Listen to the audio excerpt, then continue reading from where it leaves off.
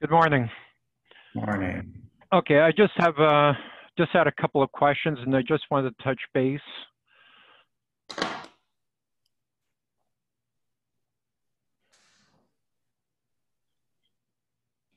Yeah, so what happens when you deal with new suppliers and you're not sure you can trust them? Yeah, is there a system to protect you there, or? Unfortunately, not really. Um, it's always a process of risk, and Okay. um, The reason why I ask is I asked one of my assistants to do some research to see how many clients or how many connections we have or have done business with in one way, shape, or form with CNC manufacturers specifically in China. So far, there's about 1,500 of them. 1,500 of, of them where? Sorry, what do you mean? Manufacturers, That we deal with? No, not that no, many. that we deal with. Right. Okay, so what I was thinking, and forgive me for trying to jump ahead here, if we're trying to expand this company to $10 million, as an example, I had a conversation this morning with uh, uh, a countertop manufacturing association. And I found that the CNC, the manufacturers or the producers of countertops, about 50% of them use CNC machines okay? Which means there's a huge upside there, right? Mhm. 50% of these uh, clients or potential clients uh, don't use machines, which means we should be creating or educating them to be talking to you about, you know, using these machines, Mhm. right? Um, we're also doing other studies for other manufacturing, wood, uh, wood, metal, and and other, and even 3D modeling. Do you get involved in 3D modeling at all? No, because it's a service, right? So it's a business built around um, unique services. So you have to have a lot of engineers on hand and Okay, but someone has to be selling them these machines to do the 3D modeling. Are you interested in that market at all, or no? Uh, yeah, it depends. It, it just depends on what, what you mean by 3D modeling, because it could mean a couple of different things to different people. Um, so, for example, our equipment is used for 3D mar- modeling, Okay. right? But if somebody were to come to me and said, I want you to make me this pen and it has to have, you know, an indent here and an engraving here and this there and that there, I'm going to say, no, sorry, we don't have the time for that Okay. because it's a totally different business model and it takes up a lot of man hours, right? okay. But I if can you're say, hey, yeah, sure, here's the machine. okay. You know, but you're going to have to figure out how to how to do the modeling yourself. I can also give you an individual that you know uh, can help you with the file. We have people that make files for our customers, for example. Okay. One of the other thoughts that uh, was going through my mind is all your equipment comes in through the port of Vancouver. Is that it? Yeah, Okay. Um, do you ever ship to the port of Toronto? no, you can't. Okay. So what I'm thinking is, and, and I'm only planting trees. I'm only planting a seed here. I'm wondering whether your main warehouse, your main assembly plant should be near the port of Vancouver because to bring product from Vancouver to Toronto, and if you have clients in Alberta or BC, now you're shipping the, the machine back there.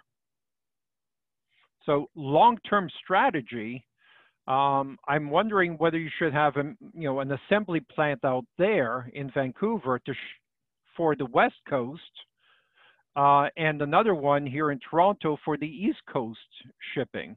Just a thought, because it's kind of silly to ship it east and to ship it west again. Yeah, Okay, so that was one of the thoughts. Um, also, again, planting trees. I know you're kind of under the gun and everything. You're hit a ceiling because of you know physical assembly space, and that's kind of stopping the bandwidth from thinking beyond that. But eventually, you know, within a couple of months, you'll solve that problem. Either you're going to get a big warehouse in Toronto, Vancouver, or Bowmanville, wherever that is, and that problem is going to be solved. then the next problem is going to be finding more guys like um, um, uh, Eric uh, or engineers to assemble these machines. Yeah. Um, should you should we be looking at that? Because that could take three to six months to find those people. And the other conversation that I had this morning was with salespeople. Um, I had a couple of conversations with with people who are who are well who claim they are rainmakers. I don't know how good they are, but uh, I, I, spoke with a couple of in, uh, inside sales and outside salespeople. Should we be looking at that as well? Yeah, I mean, I have ads up for both those positions. Okay. So maybe, and the other thing that I mentioned is I, I think we need to start thinking about putting the racehorses back on the racetrack. Mm-hmm. And maybe you need a couple of admin people to take some stress off you and uh, and Simon and the other salespeople. Uh, it would be nice, right? But you got to have a pretty technical technical mind to to be able to do it. Okay. Um, the um, the other question that I was asking, and again, planting a seed, is uh, Simon was walking me through the um, your CRM and how you use the the system, and it's not very user friendly. There's a lot of data entry, and as you know, data when people add data, they can make mistakes.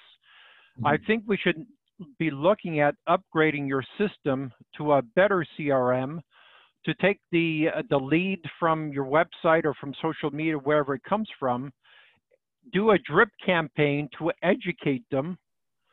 Um, then, when it goes from an estimate to a job to to a current client to a post client and all those processes, it's all done automatically.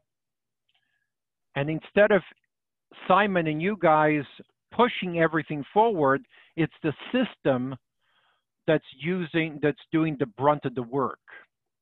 Does that make sense? Yeah. So I have been looking into that as well. What systems have you been looking at? Um, the one that I'm considering, give me one second, is um, Klaviyo and Active Campaign. Okay, uh, those are. I think there are better systems because those are are are, are more on the marketing side, if I remember correctly. I look at so many different software. We deal with about 20 different pieces of software that could help you. I think you I think you need a more robust system that can handle your business five years from now or when you get above the 10 million range. Mm-hmm. Um, I think you need a more robust system that, that deals with all the different aspects of that, including the reviews, including the, the repair orders, including the, um, uh, I mean, the drip campaigns. And there are three or four different sections of the, of the drip campaigns because and and the other thing that, that I think we should look at, and this is some of the things where I've been talking with my people now, I just wanted to bounce this stuff off you to see how you feel. I think the salespeople, because it's such a technical field, that maybe the four or five salespeople that you have eventually will focus on a specific market, such as one of them focuses on the you know stone manufacturing and all he does is stone manufacturing. That's what we would definitely love to have one day. That's what you're trying to move to move towards. Definitely, that's the best thing you could ever do because you have an expert. Right, and while really the system is the expert, and that salesperson who deals with the stone um, is looking and watching the system to make sure the system is functioning properly and answering any oddball questions that the system can't answer.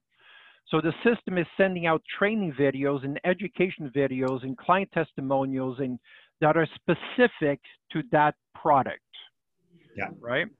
And you know, of course, that let's call him Fred, who specializes in the, in the stone, is obviously the expert. And also, these leads will be coming in from stone fabricator groups and so on.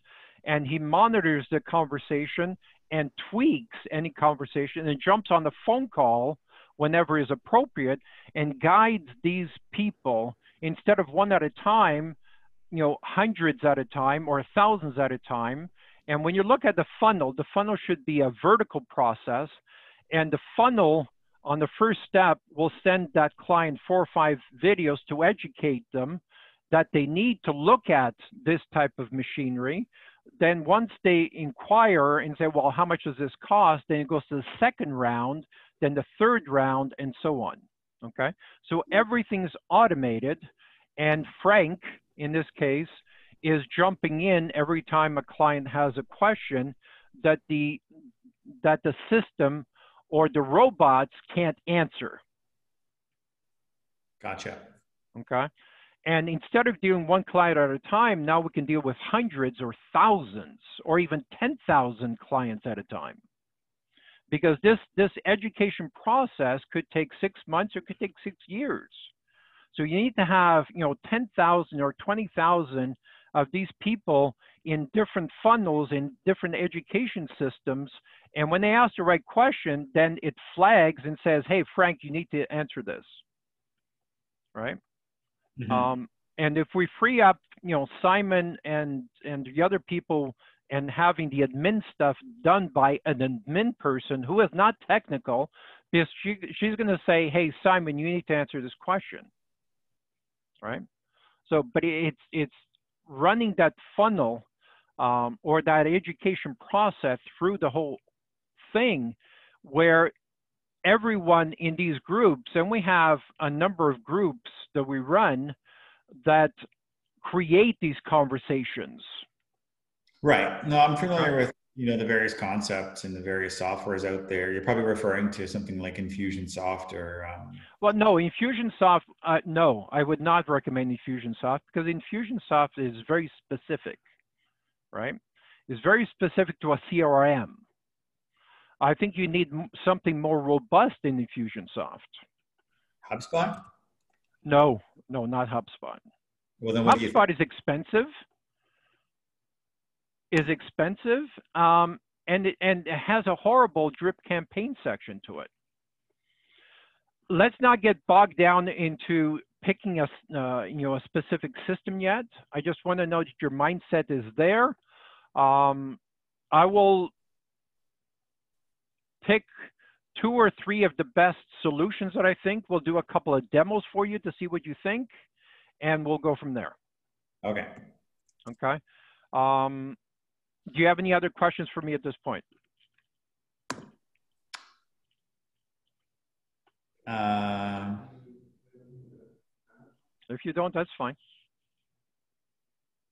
So let's see if we can do, get together for lunch. The other Eric is in today. The Eric, the salesperson, is in today. Yes. Okay, so maybe you can let him know that I, I want to have a conversation with him, or we can set up um, um, a conversation when I come in on Thursday, Wednesday or Thursday. Sounds good. All right. Have a great day. We'll talk soon. All right, sorry, talk to you about. Okay, bye.